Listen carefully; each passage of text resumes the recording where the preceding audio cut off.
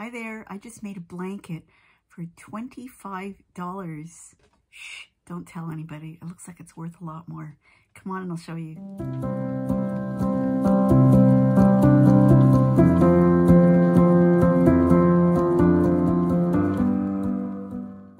Hi there, welcome to my channel. I'm Rhonda, and yes, I made a lapgan, a lap-sized blanket it worked up to 45 by 36 before the border.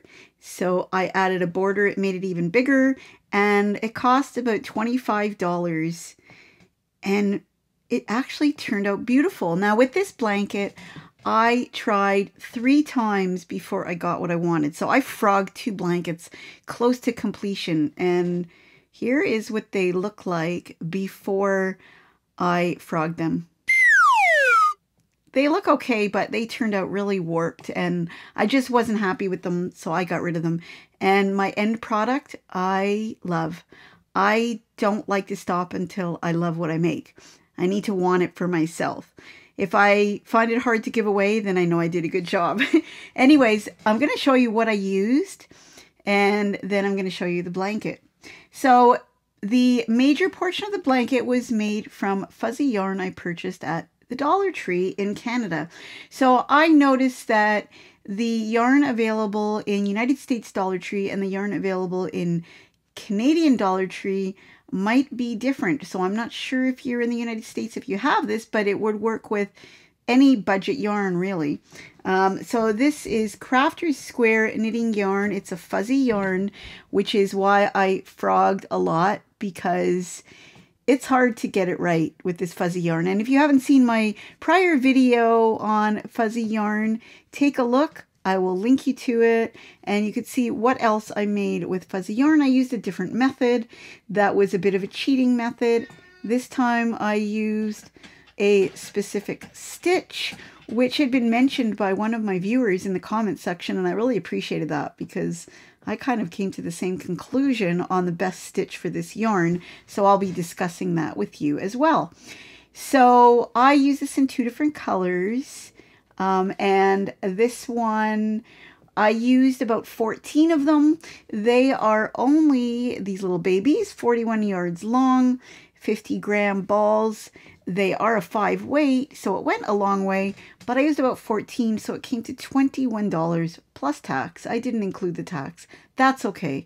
So that's that. Now, the other thing I used, this came in my Mary Maxim mystery bag, and I did use this before.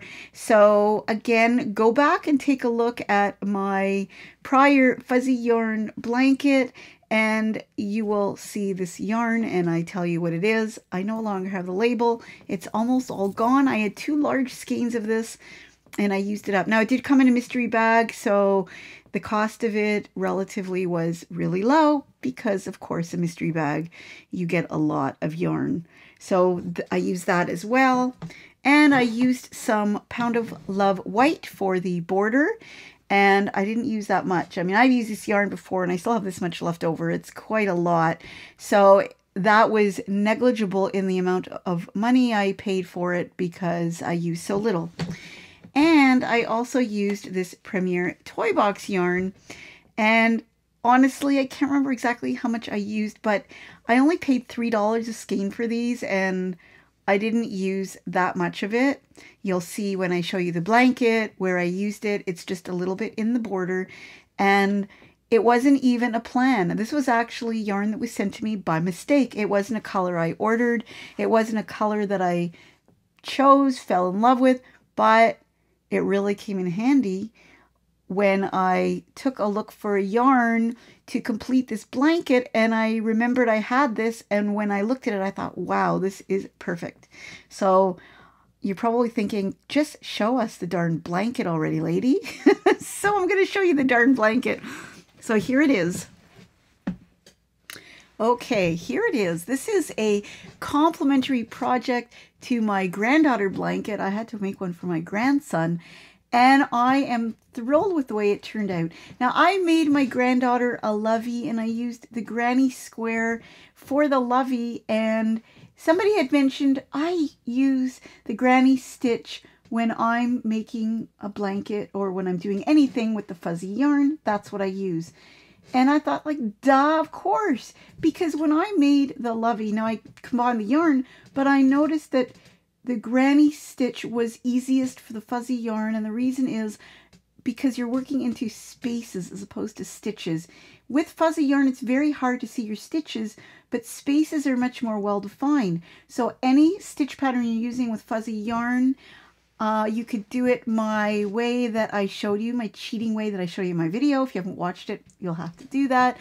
Or you could do a stitch pattern where you're working into spaces, not stitches, like the granny stitch. So that's what this is, and it leaves such a beautiful pattern. So I'm going to show you, I'm going to stand up and show you what it looks like in its entirety. It's a great size for a two-year-old. It's a great size for a lapgan. I mean, that is the size of a lapgan, just to be sitting down and warm yourself up. And look at that. And to take a closer look, I did the stripes like my um, Garden Tea Party stripes. I reversed the colors. If you haven't seen that, I'll link you to that as well. You'll have to take a look at that. So I use the same principle, different stitch, but you can see how the granny stitch brings out this beautiful pattern. And you can see the middle part is just the same colors, but in reverse. And here is the, oh, the edging I did one row of the granny stitch and it looks like dots, so that's pretty. It almost looks like puff stitches, but it's just the granny stitch one row at a time. And look at how that puzzle yarn worked out beautifully. It just goes so well with the green and the blue and the white. It's so perfect. I couldn't believe it. And I don't know if you noticed yet, look at the border. Now they are going to look a little bit squishy in places, but you can see it's a parade of elephants. 50 elephants in this blanket. 50. So the blanket I made for my granddaughter has bunnies around the edge and there's 30 bunnies. This is a bit bigger of a blanket, more elephants. 50. That's a lot of elephants. And at first, it seemed like a lot of work, just like the bunnies. But then once you get going, you build momentum. You don't need to look at the pattern or tutorial anymore. You just figure it out after three and bang, bang, bang. You just pump them out. All these elephants. So I'll stand back a little bit so you can see the whole thing.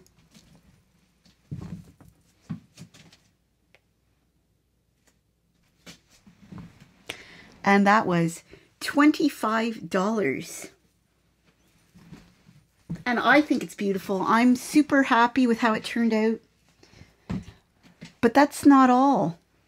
Because I never just make one thing. I've got to make coordinating things. And again, referring back to my other fuzzy yarn blanket where I made the bunny blanket with the bunny lovey for my granddaughter, I couldn't just give my grandson a blanket. I had to make him a toy that went with it. And I wanted to make sure that it was a matching toy. So I made him this elephant. Isn't that cute? And I used the same colors, but this is not the fuzzy yarn. This is just regular acrylic yarn that I had in my stash in worsted weight. I put on a little bit of the toy box yarn for his little neck tie and I made him a little tail. And I used 24-7 white cotton, the um, Lion Brand 24-7 mercerized cotton. So he's nice and sturdy. And he goes so well with the blanket. Perfect colors. So I hope this turns into a happy blanket and a happy toy for both of my grandchildren.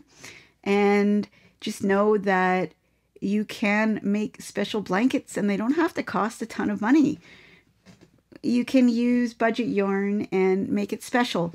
And of course you want to make sure it's going to wash well through wear and tear, so that's definitely a concern.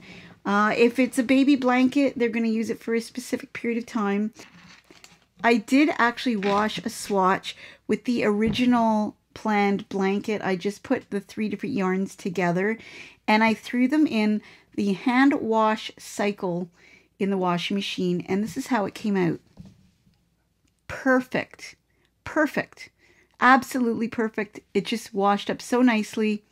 I did not put it in the dryer. And actually, it didn't come out soaking wet. You might think with fuzzy yarn it would come out soaking wet. It didn't. And it washed up beautifully. And, you know, I've pre-checked these other yarns that that I used as well, but I didn't I didn't complete the blanket with these, so I'm not going to talk about that. But I just wanted to show you how that washes up. So I was happy with that. So while I've been taking so much time in between videos, I've been making other things. Hobbii had an event on where you could make something every day and it was representing Denmark and I was all planned to do it and excited to do it and started making something. And, and then I got caught up in these blankets and I never got a chance to do it. But I did make a few things that I wanted to show you, just little things, and they're really cute. So the first project for the Denmark event was uh, you needed to make something that represented Denmark. So I had it all planned out and I was going to make something that incorporated certain things that represented Denmark. So I went and I researched and I saw that the flower of Denmark is a daisy. And I was going to put this daisy on something, but never got around to it. So I turned it into like maybe a little keychain. So I thought that was really cute. So I made that. And the fruit of Denmark, strawberry. So I could do the same with the strawberry. I could turn it into a little keychain. It really turned out adorable. I'm liking that. And I made something else, but this wasn't a Denmark thing. This was when I was making my garden tea party set and I was making the tote bag. And again, go back and take a look at it. If you haven't seen my garden tea party set videos, it's a series of three videos. Go back and take a look because it's pretty fabulous. I'm happy with the way it turned out. Uh, the third one is a tote bag and I wanted to make a bird, but this bird turned out too large, but I still love it. And it could be used for just hanging in a window or anything that you want it to be. And I love the way it turned out. This yellow bird. And these are projects I find, I go and I look and I find them and then I lose them. So just, I'm not going to be very helpful there, but I just wanted to show you what I made and I love it. Okay, so that's what I've been busy with, but there's more. So if you go back and look at my happy mail, and there's two videos there, in the first video, this lovely woman who gave me this really generous, generous happy mail. If you haven't seen it, go take a look. You'll want to see that for sure. Again, another link. I'm going to link you to it. She gave me these little balls of yarn that had a hat topper on it and they were made for knitting. So go take a look and you'll see what they look like. There's two of them. I had to go to a medical appointment with my hubby and I knew I was going to be in the waiting room and I wasn't going to take my blanket. I was shy about five elephants on my blanket. There's no way I was going to take that bulkiness to an appointment. And I thought, well, this is perfect. I'm going to take this little ball of yarn and make a hat. Well, the thing is, the pattern is for knitting. I have learned that crochet is quicker but takes more yarn. So this ball of yarn was made for a knitted hat. And when I started making it, I ran short pretty quick. So I incorporated my own yarn and made it my own. So I wanted to show you that as well. So here's the hat that I made. And the yarn that came with the ball is this yarn, which is really interesting. It's a very neutral color, but if you look closely, I don't know if you can see it, but in the fibers, you can see some of the blue, purple color in it. And then it came with this yarn, which is really pretty with the greens and the purple and that, I think it's a light blue in there. And then this fuzzy violet yarn. And you can see that I used still some of this yarn I had left over and I used it here and in the top. So I'm happy with the way it came out and I pulled out this light blue yarn from my stash because I thought it went perfectly with the star or as close as I could get. And I just finished it off. And then to make it all flow from top to bottom, I made an edging here. I started with a single crochet around and then I did a reverse single crochet to make this pretty texture in it. I don't know if you can see it. And so I'm quite happy with that. And that will go to my granddaughter. I hope she likes it. So that is another project I worked on and I have one that's in progress. So for the one in progress, I am using this Loops and Threads Flecks yarn and it looks like this. And some people complain about it that it's very splitty yarn. It is very splitty yarn, but I don't mind the splittiness of it. I'm managing fine with it. What I didn't like is that it started off in a tangled mess and I had to untangle it because I pulled it from the inside. Two strands came out. They were all tangled together. I wasn't happy with that. I know sometimes, especially with uh, the Pound of Love, in the end it gets all tangled and it's annoying. And that's the only thing I don't like about the Lion Brand Pound of Love. But um, typically when I start, I'm expecting it to come out of the skein or come off of it easily without tangling. Tangling should be at the end, not at the beginning. Was not a great start, but the yarn is super soft. This yarn is 79% acrylic, 21% polyester. It's got these little flecks in it. Really pretty. This is the colorway uh, light pink and it is a hand wash yarn. So that is the bad thing if you're using it for baby. But I don't necessarily think it's a bad thing because when you have small little things and they're hand done, it really isn't a big deal in my mind to hand wash. I know mums are busy, but um, I've even thrown hand wash things in the hand wash cycle in a mesh bag, so it could be done that way as well. And I think that would protect it enough. Uh, so anyways, that's this yarn. And this skein is 355 yards of yarny goodness, 185 grams. And it is considered a four weight. I do think it's a light four weight.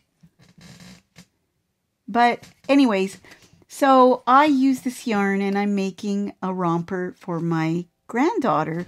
And I've only started it and I'm using a tutorial that I found online. I'll link you to it but I found that using this yarn, it came out really short. So I actually frogged the part near the bottom and I'm going to be adding on to it, but I think it came out pretty.